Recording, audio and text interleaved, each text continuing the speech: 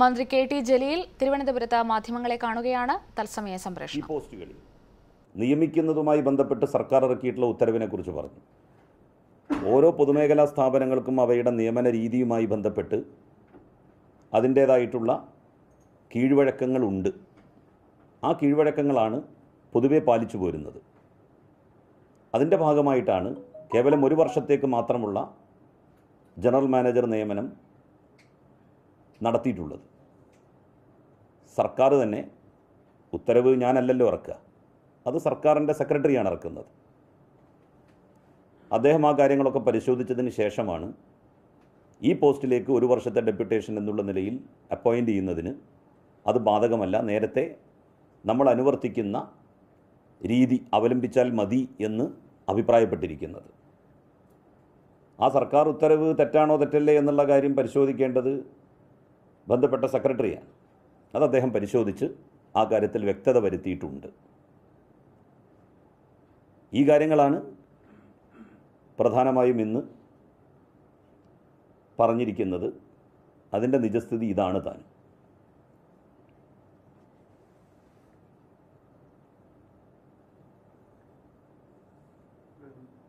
ഫിറോസ് പറഞ്ഞത് ഏഴ് പേരുടെ അഭിമുഖത്തിൽ ഏഴ് പേരുടെ യോഗ്യത വെളിപ്പെടുത്താൻ തയ്യാറാണല്ലോ?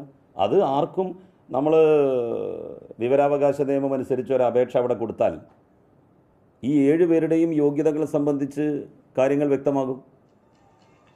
നമുക്കതിൽ ഏറ്റവും യോഗ്യനായിട്ടുള്ള ആളെ വെക്കണം എന്നുള്ളത് തന്നെയാണ് നമ്മളുടെ താല്പര്യം.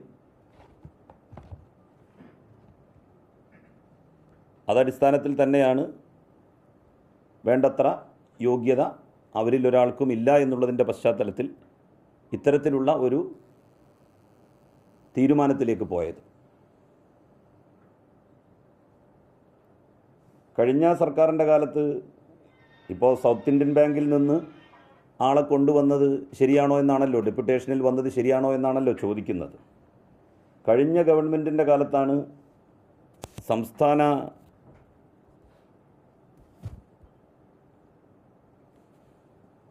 കോപ്പറേറ്റീവ് ബാങ്കിന്റെ എം ഡി ആയിട്ട് ഫെഡറൽ ബാങ്കിൽ നിന്നുള്ള ജോൺ ഡാനിയലിനെയാണ് ഡെപ്യൂട്ടേഷനിൽ നിയമിച്ചത്. സർക്കാരിന് ആരെയും നിയമിക്കാം. പക്ഷെ ഡെപ്യൂട്ടേഷനിൽ നിയമിക്കണമെങ്കിൽ അതിന് വ്യക്തമായിട്ടുള്ള വ്യവസ്ഥ ഉണ്ടാവണം. ഹലോ?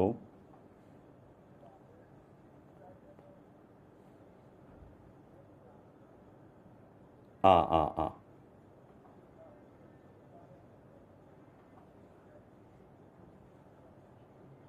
അതെ അതെ അതെ അതെ.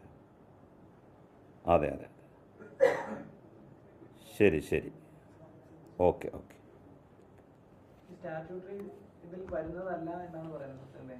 അല്ല ഫെഡറൽ ബാങ്കും അങ്ങനെ തന്നെയല്ലേ?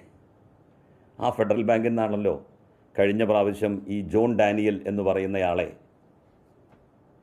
കോപ്പറേറ്റീവ് ബാങ്കിന്റെ എം ഡി ആയിട്ട് സ്റ്റേറ്റ് കോപ്പറേറ്റീവ് ബാങ്കിന്റെ എം ഡി ആയിട്ട് നിയമിച്ചത്.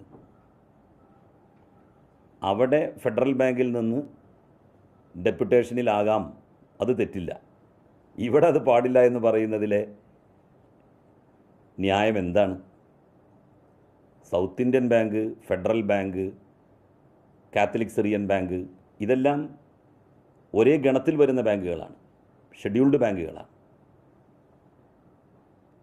നേരത്തെ ഞാൻ പറഞ്ഞിരുന്നു കെ എം മാണി സാറ് ധനകാര്യമന്ത്രിയായിരുന്ന കാലത്ത് ഇതേ സൗത്ത് ഇന്ത്യൻ ബാങ്കിൽ നിന്നാണ് ഒരു ജീവനക്കാരൻ ഡെപ്യൂട്ടേഷനിൽ എ പി എസ് ആയി അദ്ദേഹത്തിന്റെ ഓഫീസിൽ പ്രവർത്തിച്ചിരുന്നത്. ഡെപ്യൂട്ടേഷനിലാണ്. മന്ത്രിയുടെ ഓഫീസിൽ ആരെയും നിയമിക്കാം. അങ്ങനെയാണെങ്കിൽ നിയമിക്കാം. പക്ഷേ ഡെപ്യൂട്ടേഷനിൽ നിയമിക്കുന്നു എന്നുള്ളതാണ് എടുത്തു പറയേണ്ടത് ഈ അദീബിന് വിജിലൻസ് ക്ലിയറൻസ് ഉണ്ടായിരുന്നു എന്നാണ് ഫിറോസിന്റെ മറ്റൊരു ചോദ്യം vigilance clearance head of the ഇൻസ്റ്റിറ്റ്യൂഷന് M ഡിക്കാണല്ലോ ബാധകം. വിജിലൻസ് ക്ലിയറൻസ് മാത്രമല്ല പുതിയതായിട്ട് ഒരാളല്ലല്ലോ. നേരത്തെ ഒരു സ്ഥാപനത്തിൽ ജോലി ചെയ്യാണ്. ആ ജോലി ചെയ്യുമ്പോഴാണല്ലോ വന്നുകൊണ്ടിരിക്കുന്നത്. വിജിലൻസിന്റെ ക്ലിയറൻസ് ഇല്ലാതെ അല്ലെങ്കിൽ കേസും കൂട്ടുമായിട്ടുള്ള ഒരാളെ ഏതെങ്കിലും ഒരു റെപ്യൂട്ടഡ് ആയിട്ടുള്ള സ്ഥാപനത്തിൽ ജോലിക്ക് കയറ്റൂലല്ലോ ആരും. വലിയ രീതിയിലുള്ള ഒരു ലീഗ് കുറേ കാലമായി സമരപരിപാടിയായിട്ട് രംഗത്ത് വരാൻ വേണ്ടി തുടങ്ങിയിട്ടുള്ളത്. ഇപ്പോൾ കൊടുവള്ളി ഭാഗത്താണ് നജീബ് കാന്തപുരവുമായി ബന്ധപ്പെട്ടാണ് ഒരുപാട് ലോണുകൾ നമുക്ക് തിരിച്ചു കിട്ടാനുള്ളതെന്നാണ് ഇപ്പോൾ പ്രഥമാന്വേഷണത്തിൽ മനസ്സിലാക്കാൻ വേണ്ടി കഴിഞ്ഞത്. കൊടുവള്ളി മേഖലയിൽ അതാരൊക്കെയാണ് എന്നുള്ളത് പരിശോധിക്കുകയാണ്. ഉടനെ തന്നെ തിരിച്ചു കിട്ടാനുള്ള ലോണുകൾ തിരിച്ച് പിടിക്കുന്നതിന് വേണ്ടിയിട്ടുള്ള നടപടികളിലേക്ക് കടക്കും. അപ്പോൾ അതിന്റെ ലിസ്റ്റ് മുഴുവനായിട്ട് തന്നെ പുറത്തു വിടും വിജിലൻസിന് പരാതി അതിന് മുമ്പും കൊടുത്തിട്ടുണ്ടല്ലോ. കുടുംബശ്രീയിലെ നിയമനവുമായി ബന്ധപ്പെട്ട അഴിമതിയുണ്ട് എന്ന് പറഞ്ഞ് വിജിലൻസിന് പരാതി കൊടുത്തിരുന്നല്ലോ. അതെന്തായി? ഏതെങ്കിലും ഒരു കാര്യത്തിൽ തീരുമാനമായതിന് ശേഷമല്ലേ വേറൊരു വിജിലൻസിലെ പരാതി കൂടി കൊടുക്കുക. ഒരു വിശദീകരണവും ചോദിച്ചിട്ടില്ല. അദ്ദേഹത്തിന്റെ ഓഫീസിൽ നിന്നാണ് ഈ കാര്യങ്ങളെല്ലാം അതിന്റെ ഇതനുസരിച്ച് നമുക്ക് ഫീഡ്ബാക്ക് തന്നുകൊണ്ടിരിക്കുന്നത്.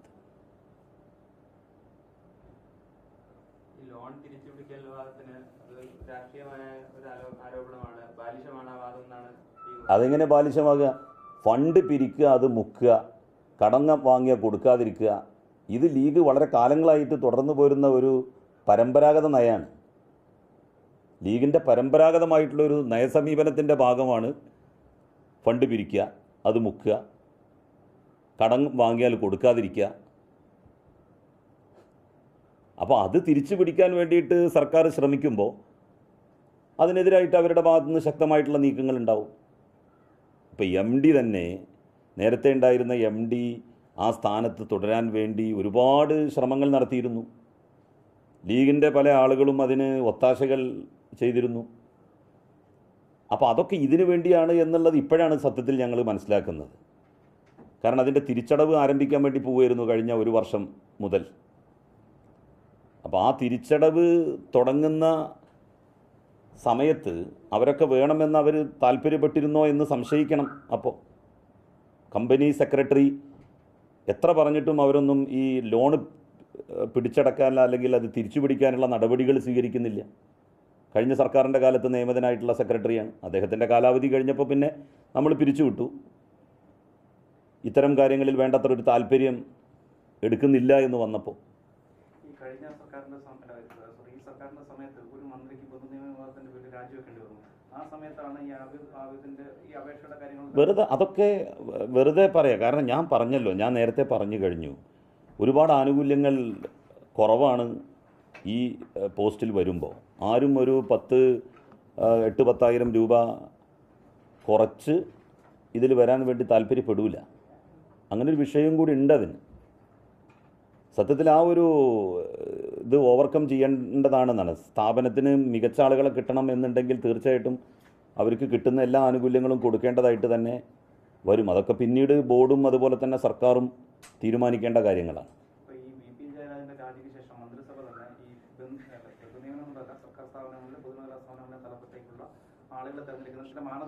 പക്ഷെ. ഡെപ്യൂട്ടേഷന് അതൊന്നും അതൊക്കെ ഫ്രഷ് ആയിട്ടുള്ള കാൻഡിഡേറ്റ്സിനെ നമ്മൾ പുറത്ത് നിന്ന് കൊണ്ടുവരുമ്പോഴാണ് അതൊക്കെ ബാധകമാക്കുന്നത് ഇത് ഒരു വർഷത്തേക്കുള്ള ഡെപ്യൂട്ടേഷന് നമ്മളിപ്പോൾ ഈ ഒരു പ്രൊസീജിയറിലേക്ക് കടന്നാൽ തന്നെ ഒരു വർഷം എടുക്കും അപ്പോയിൻമെന്റ് ആയി വരണമെന്നുണ്ടെങ്കിൽ നമുക്കിപ്പോൾ എത്രയും പെട്ടെന്ന് നിയമനം നടക്കുകയും ലോണ് തിരിച്ചു പിടിക്കുന്ന ബന്ധു നിയമന വിവാദത്തിൽ ആരോപണങ്ങൾ ഒരിക്കൽ കൂടി തള്ളിക്കളഞ്ഞുകൊണ്ട് സംസാരിക്കുകയാണ് മന്ത്രി കെ ടി ജലീൽ. ബന്ധുവായല്ല യോഗ്യതയുള്ള വ്യക്തി എന്ന നിലയിലാണ് കെ ടി അദീപിന് നിയമനം നൽകിയതെന്ന് അദ്ദേഹം വ്യക്തമാക്കുകയാണ്.